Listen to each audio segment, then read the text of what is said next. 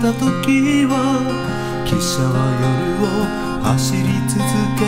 朝の駅へ着いたところ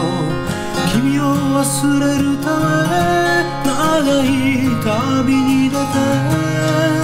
旅のお詫びにこの街を選んだ。去年の今頃汽車に乗り二人で旅した北国の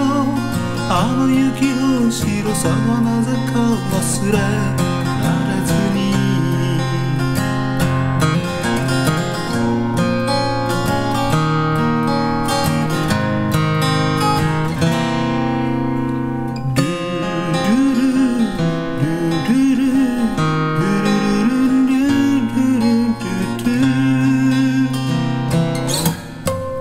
僕の他には少しの人を下ろしただけで汽車はすぐにまだ暗い朝に消えていった。思い切り背伸びを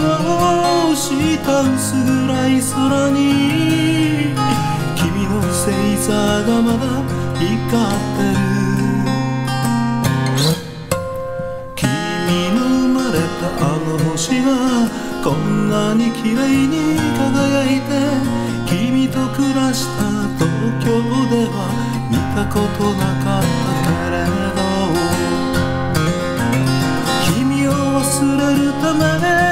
長い旅に出て